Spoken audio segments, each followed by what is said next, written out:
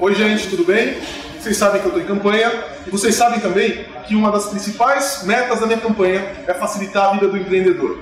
Um setor que tem sido muito judiado pela prefeitura, judiado pelo poder público em geral, é o setor das oficinas reparadoras. O setor automotivo em geral, mas as oficinas reparadoras têm sido especialmente acharcado, judiado pelo poder público. Eu estou aqui com o Ângelo Coelho, que é empresário do setor. Tudo bom, Ângelo? E aí, tudo bem?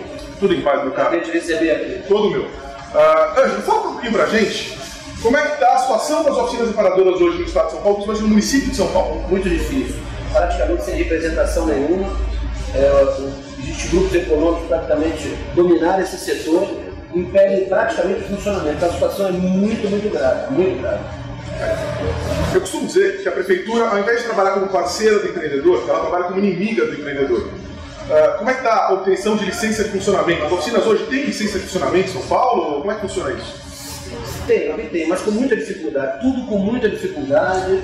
É, hoje, o reparador é, conseguir esse documento, ele muitas vezes ele acaba vivendo quase um calvário, gastando muito recurso, porque na verdade ele não dispõe, que é impossível hoje você atender as normas, as normas como estão, estão sendo aplicadas hoje. Infelizmente é assim. Exatamente. Costumo dizer sempre isso. A oficina ela, ela, ela tem a vida dificultada do empresário, tem a vida dificultada da prefeitura ao invés de facilitada. Fala uma coisa para mim. Tirando essa questão né, específica da licença de funcionamento, uh, quais são os principais problemas que o setor enfrenta hoje?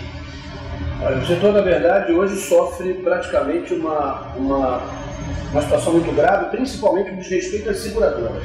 Né? Eu sei que no âmbito municipal, é, o vereador, é, entre aspas, não pode muito ajudar, mas pode levar, evidentemente, essa situação que o setor tem vivido. A situação, de fato, é muito grave. Aqui, o reparador que, o empresário que comunga comigo, que sabe do dia a dia, a dificuldade de receber um carro na oficina não é verdade? Ele, ele enfrenta uma verdadeira barreira. O cliente quer, quer poder escolher a empresa reparadora, não importa se ela é pequena, média ou grande, e a seguradora diz não, não pode, não pode. Tem uma série de obstáculos que impede completa, completamente o funcionamento da empresa, o que é um absurdo, não é verdade? Exatamente. E tem também a tributação, né, que é pesada. Sim, claro. Eu costumo dizer o seguinte, que quando, se, se, a, se a administração ela diminuir o valor dos impostos, o custo de uma empresa, mais pessoas migram para formalidade. Mais pessoas vão passar a pagar impostos. Se eu tiver que pagar menos, eu tendo a pagar. E não, pra não, até para não ser vítima de achar fiscal. Como é que você vê isso? Eu vejo sim, claro. Eu, eu, o momento é excepcional. Eu acho que a, a política brasileira está passando por uma, um momento muito interessante. Eu acho que o município tem que dar, eh, a prefeitura tem que fazer algo, os vereadores têm que fazer algo. Eu fico muito feliz, sabia?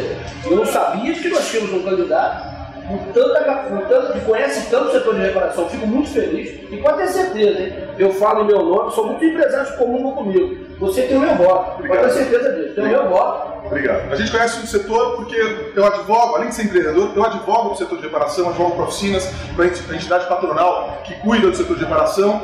E a gente descobre, nesse meio de advocacia, que as coisas andam muito erradas para esse setor. Ah, dentro do que é possível o vereador fazer, vocês podem contar comigo. Um abraço, até a próxima.